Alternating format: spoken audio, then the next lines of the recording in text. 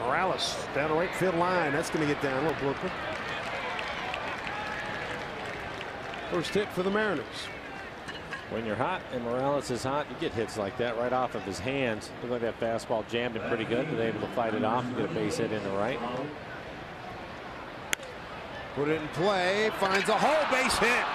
Miller coming around, he'll score. So Kendrys Morales wasting little time, shoots one through the hole.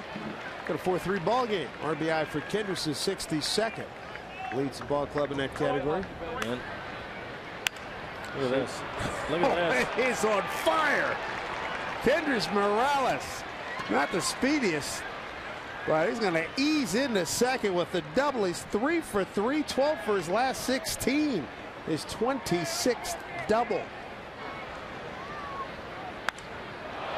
Fly ball straightaway center up the bat of Morales. Long run for Jones. Back there. Can't get it. It's gone.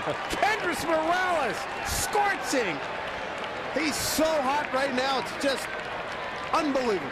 He's four for four today. Two singles, a double, and now a leadoff homer in the eighth. Wow.